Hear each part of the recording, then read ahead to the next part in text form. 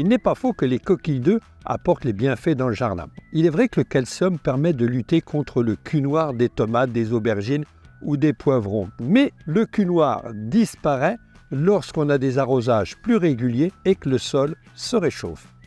Vous avez sans doute déjà vu des pêchers avec un filet de coquilles d'œufs. On dit que ça lutte contre la cloque du pêcher. Alors c'est complètement faux puisque les coquilles d'œufs, non pas qu'elles n'ont pas d'effet, mais surtout les feuilles cloquées disparaissent lorsque le temps se réchauffe.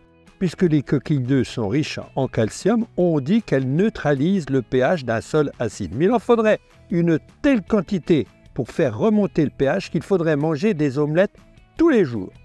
Alors on voit aussi sur Internet comme quoi les coquilles d'œufs seraient très efficaces pour empêcher les limaces de manger les plantes. Ça ferait une barrière naturelle à cause des écailles. Alors c'est complètement faux alors les coquilles d'œufs concassées sont excellentes pour le compost, elles vont apporter euh, du calcium, mais à une seule condition, de ne jamais les laisser des coquilles euh, complètes, car cette fois-ci, vous allez attirer les rongeurs et notamment les rats.